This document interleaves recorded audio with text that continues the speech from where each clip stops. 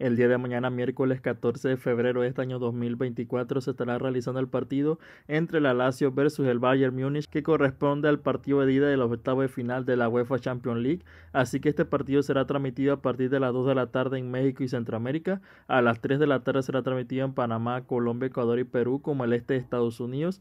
A las 4 de la tarde será transmitido en el país de Bolivia, Venezuela, como también el Caribe.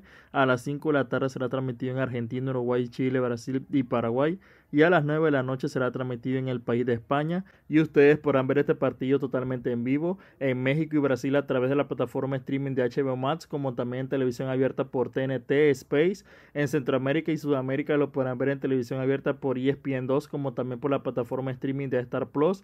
En Argentina lo podrán ver a través de Fox Sport, en Chile por Fox Sport 1 y también en la plataforma streaming de Star Plus. En Estados Unidos será transmitido en televisión abierta por TUDN como también las plataformas streaming de Paramount Plus y Fubo TV y en España lo podrán ver a través de Movistar Liga de Campeones y también en la plataforma streaming de Movistar Plus.